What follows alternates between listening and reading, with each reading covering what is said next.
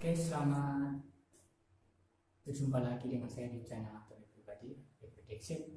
Nah, kali ini kita akan coba membahas sedikit tentang uh, Velmora Wonder Velmora sekilas uh, untuk nanti anak-anak saya atau yang lain yang mau mencoba mengedit video menggunakan Wondershare Velmora. Nah, Wondershare Velmora ini merupakan salah satu alternatif untuk video editing. Jadi selamat menyaksikan untuk video saya. Sebelum itu jangan lupa klik tombol di bawah ya.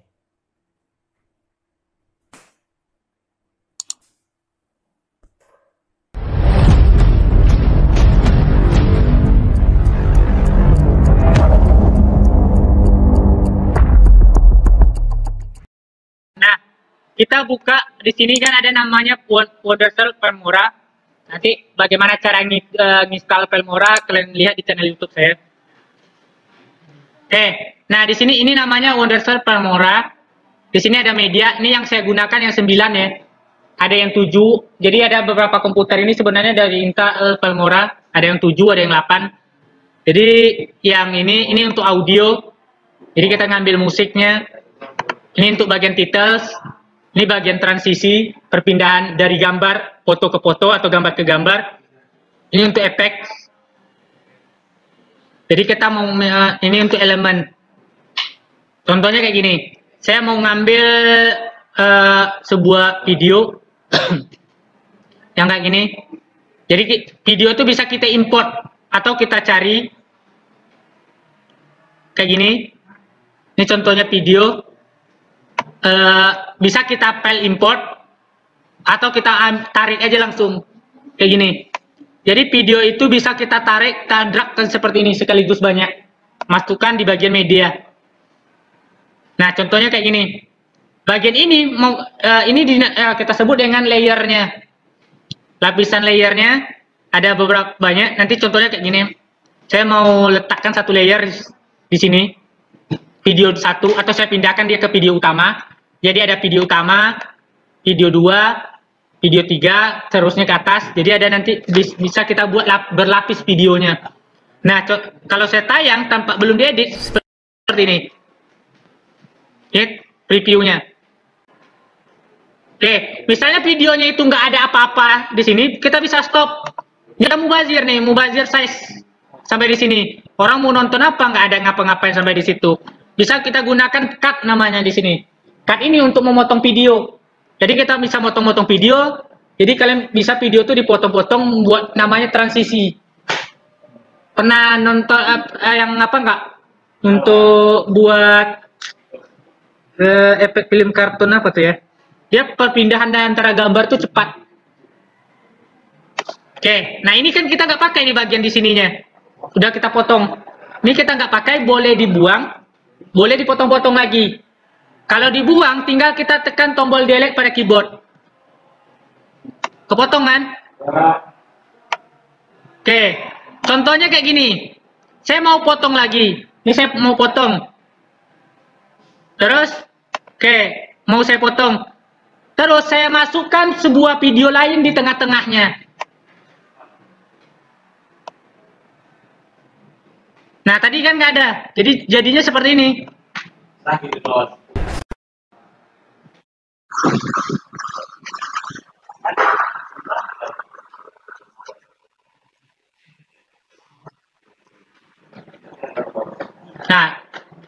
kalau kita tanpa transisi, contohnya tanpa transisi dari video ini video satu, video dua, video tiga, tanpa transisi, maka akan ada efek kasar nampaknya. Coba kita buat transisi, ambil transisi di sini. Itu gunanya transisi supaya perpindahan antara gambar itu dengan foto atau video dengan video itu agak kelihatan halus. Tapi ada yang tidak perlu pakai transisi, itu tergantung seni dan waktunya. Contohnya kayak gini, mana ya? Saya ambil satu transisi. Nah, enaknya di Pelmora 9, di Pelmora 9 ini kita bisa ngatur letak posisi transisinya di mana. Misalnya sebelum videonya, atau pergantian di tengah-tengah videonya, atau setelah videonya. Itu di transisi uh, uh, Pelmora 9. Contohnya saya buat di antaranya. Nah, saya putar coba. Yang ini nggak pakai transisi. Karena biasanya uh, kita masuk di intro seperti itu nggak ada transisi.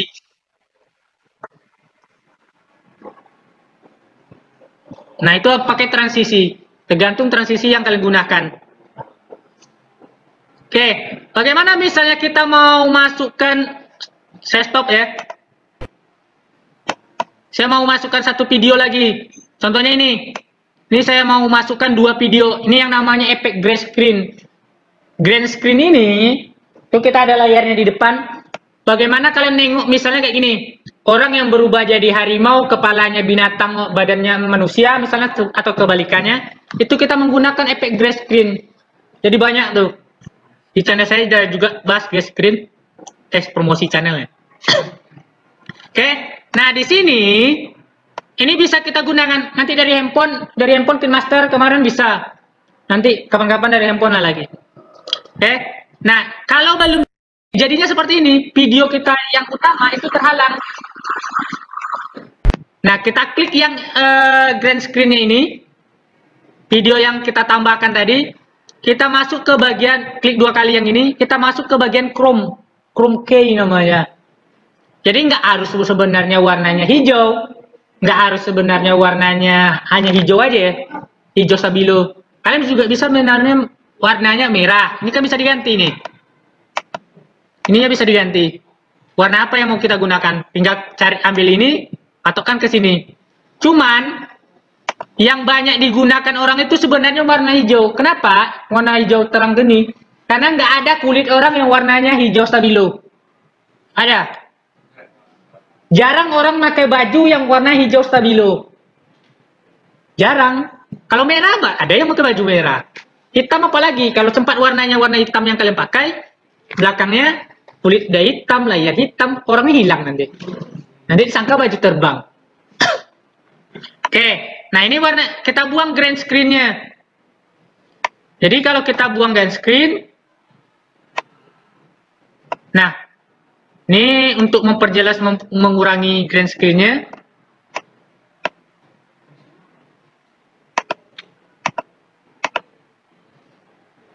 Ini kita ambil untuk contoh warna. Kalau kita mau ngambil contoh warna. Oke, ini untuk mengurangi kejelasan green screen-nya.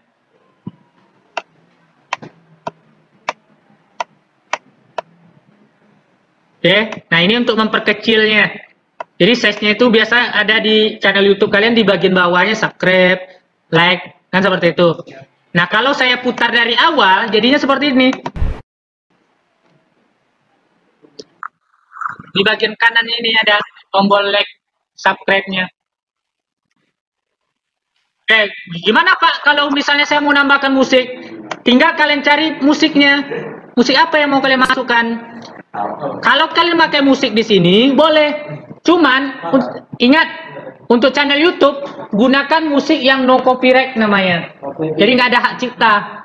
Kalau ada musik lagu orang yang kalian masukkan, bagian di keterangan nanti harus kalian masukkan siapa penyanyinya, album keberapa, uh, terus ada apa namanya copyrightnya siapa. Jadi harus dicantumkan di bawahnya supaya nggak kena hak cipta.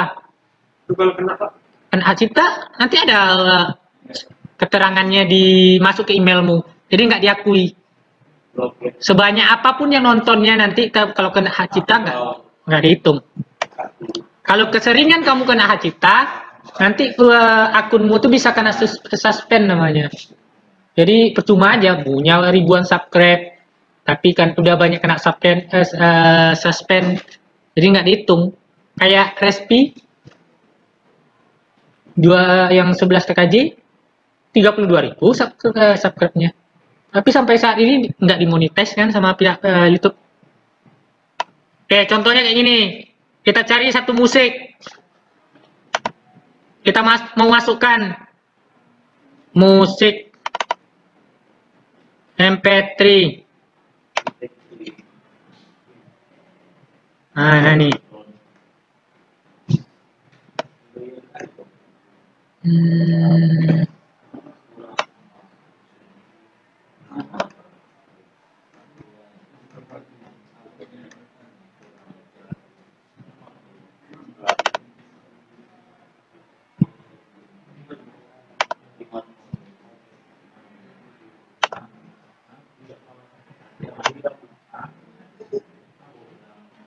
Oke, mana nih MP3, MP3, MP3,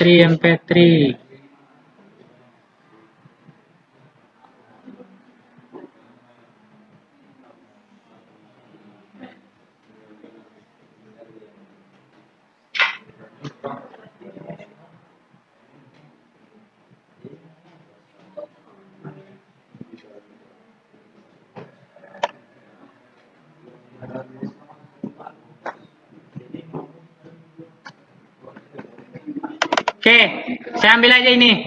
Nah, kalau misalnya kalian mau ngambil musik, nadanya MP3 misalnya, tinggal kalian letakkan di sini. Masukkan musik MP3-nya, emang klik dulu media, terus ambil musiknya, musik yang mau kita masukkan, musik yang di luar. Nah, terus kalau mau masukkan ke dalam, tinggal kalian klik tambah seperti ini, atau kalian direct dia ke bawah, drag dia ke bawah. Jadi bisa banyak musik dia. Mau suara kalian nanti mau diisi juga, mau musik juga. Jadi musik tuh pun bisa diatur berapa volumenya. Jadi bisa dikecilkan. Misalnya kalian mau rekam suara terus kasih musik, itu kan bisa di supaya musiknya itu kecil, suara kalian besar. Itu namanya di sini. Kita klik musiknya dua kali, maka akan muncul bagian audio seperti ini. Nah, di sini kita bisa kecilkan nadanya. Nah, pitch ini fungsinya pernah kalian nggak nengok dengar suaranya sebenarnya kecil suaranya, tapi bisa suaranya tiba-tiba ngebas atau kayak suaranya malah kayak suara apa namanya yang tupai itu film tupai? Tupai. Iya, yang anak-anak eh, film-film kartun tupai itu. Tupai.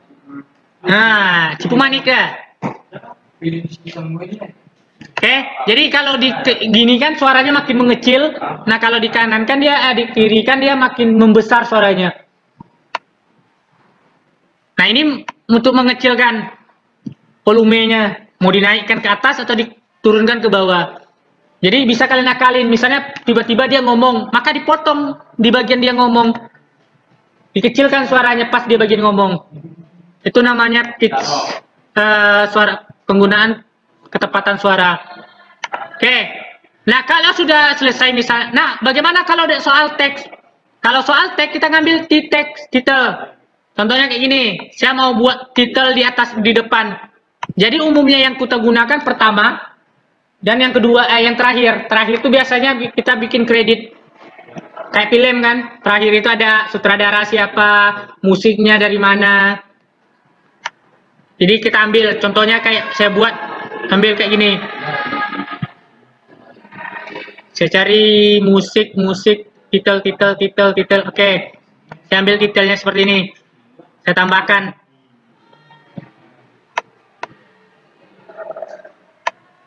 Saya letak di awal titelnya.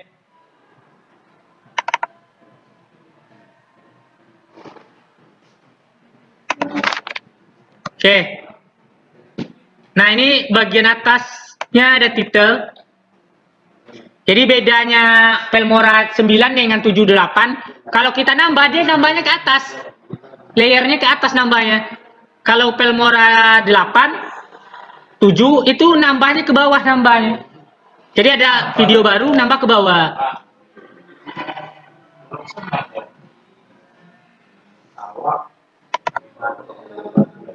Oke, okay. Jadi titel ini bisa kalian edit seperti ini. Klik dua kali bagian titelnya.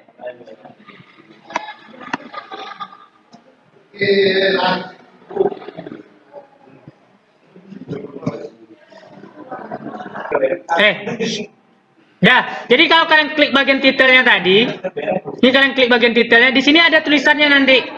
Kalian mau buat tulisannya apa? Dan ini fontnya, ini fontnya. Jadi misalnya saya buat di sini tutorial. Oke contohnya. Ini jenis fontnya terus saya klik lagi yang di atasnya yang ini. Mau saya ganti lagi. HP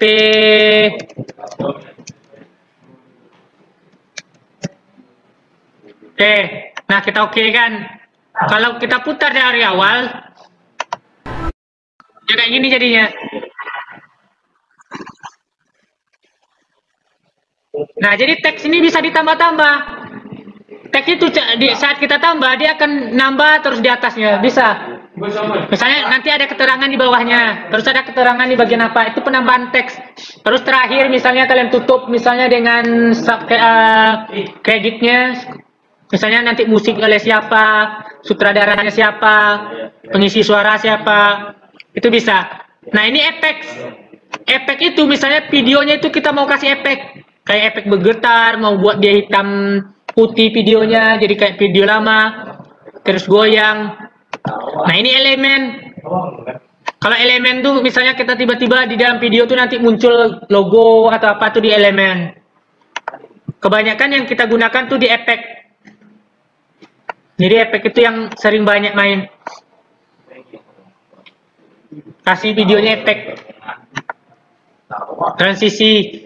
Nah, kalau sudah selesai, baru kita ekspor. Ekspor ini, ini formatnya MP4 k, WMF k, API, P4 port, 3GP, ini format namanya. MP4, MP3 jadi musik. Nah, ini tempat penyimpanan dan ini nama videonya. Nah, ini setting. Ini besar sa- filenya itu 455 megabyte. Nah, kalau mau di setting lebih kecil, setting aja di sini. Ukurannya berapa? Makin kalian kecil kan? Ini kita buat God. Biasanya size-nya makin kecil. Cuman kualitas video kalian juga makin kurang bagus. Di situ ngaruhnya nanti. Nah, kalau sudah selesai, ini misalnya diganti, ini diganti tempat penyimpanannya, baru di klik export. Atau mau kalian masuk masukkan ke YouTube boleh. Daripada repot nanti misalnya ke komputer dulu baru ma- masukkan ke YouTube lagi boleh. Atau kalian banding ke video. Biar bisa ditonton di apa di PD kalian, di PD player kalian di rumah. Atau masukkan ke Vimeo bisa. Nah, ini di paste, ini lokal. Ini kalau kalian mau masukkan ke komputer ke handphone, smartphone, PPA, PSP, PlayStation 4 bisa dimasukkan. Jadi ada beberapa pilihannya. Tinggal kalau sudah diketentukan pilihannya, kalau di kayak YouTube, ini judul YouTube-nya. Nah, ini deskripsinya misalnya eh, itu menjelaskan tentang apa. Ini di deskripsi ini penting nih. Kayak ini itu juga penting yang menentukan selain judul itu description. Jadi saat orang cari di Google yang berhubungan dengan itu nanti muncul dia di channel YouTube kita. Ini kategori public. Kalau sudah ekspor.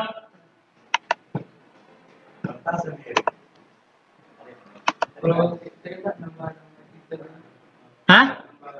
Nambah titel kita tinggal tiga, eh, tambah titel seperti ini. Misalnya kita mau tambah lagi titel. Oke, saya letakkan untuk di terakhir ya. Contohnya penutup.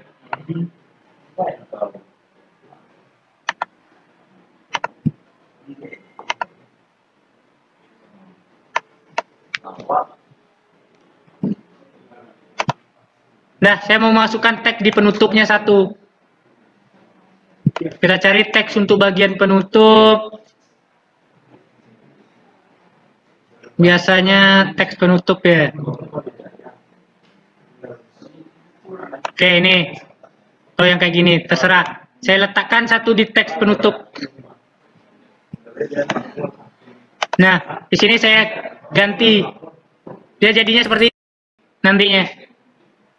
Jadi saya mau nambahkan. Jadi kalau diputar ya kayak jadinya nanti seperti ini sebelum di apa kan diedit. Jadi kan biasa di film ada yang tagnya itu berjalan ke atas, ada yang muncul-muncul dia.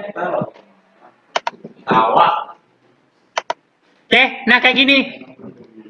Saya mau buat teks di penutupnya. Jadi nanti bisa kita edit, klik yang kreditnya ini bagian kreditnya, terus kita ganti. Misalnya stringnya kita ganti. Oke, kita klik bagian string.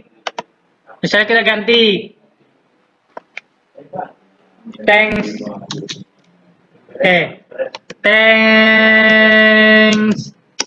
to Terus yang bagian bawahnya Terima kasih itu kita ganti.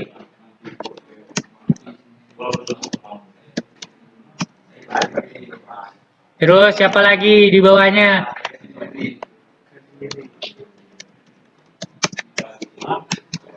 Balik.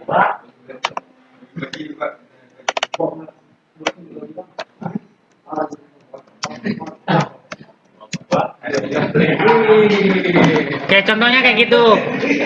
Jadi bisa kita tambahkan berapa? Jadi teks tuh mau buat sebanyak apa pun bisa. Oh,